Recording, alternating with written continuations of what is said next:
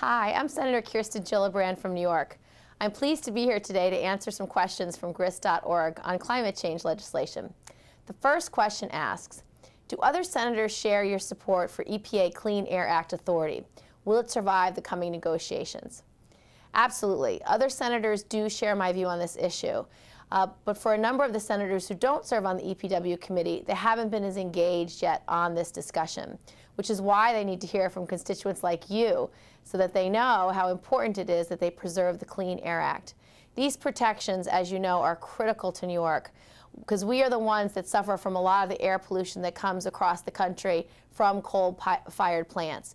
We suffer from acid rain. We suffer, uh, particularly in the Adirondacks, increasing contamination in all of our rivers and streams. In New York, you can only eat one fish a month because of the high uh, mercury content in our waters.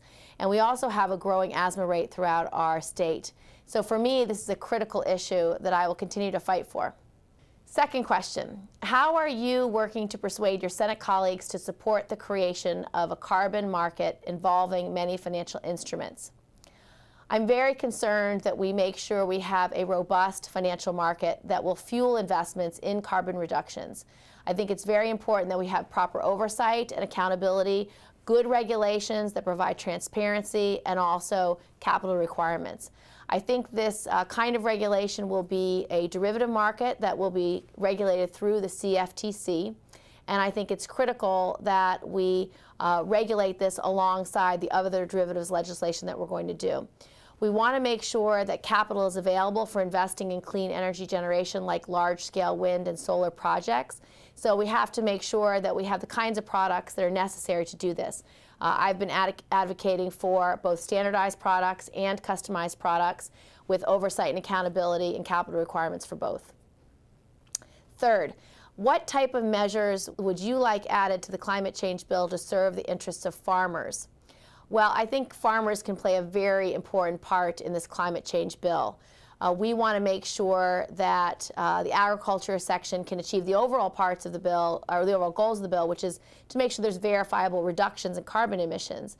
Uh, but there are so many opportunities for our farmers, whether they're going to be part of wind energy or solar energy, or whether they're going to be part of anaerobic digesters and cellulosic ethanol. They have a lot of opportunity to be part of the climate change bill and, and do those offsets by things they can create uh, throughout agriculture. We also want to make sure that our farmers have the resources and technical assistance available for smaller projects uh, and for working with aggregators who can connect, for example, multiple dairy farms for a large methane digester project or make the project uh, not just achieve reductions, but also be economically feasible for those farms who are participating. So there's a lot of opportunity out there, and I just want to make sure our farmers have a voice in this climate change bill. Fourth question, which Senate Republicans do you think will support climate change legislation?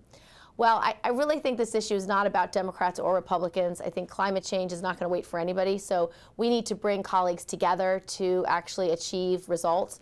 I think Senator Graham, uh, Senator McCain have both spoken out in favor of climate change in the past, and I'm hopeful that they will join us in our efforts.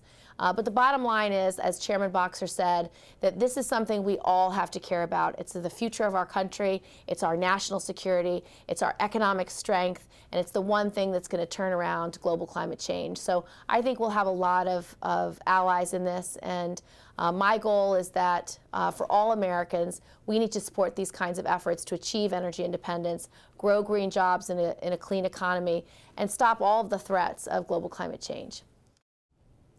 I want to thank grist.org for giving me the opportunity to discuss these very important issues. The Clean Energy Jobs and American Power Act will lead to long-term economic prosperity, energy security, and the protection of our environment for generations to come.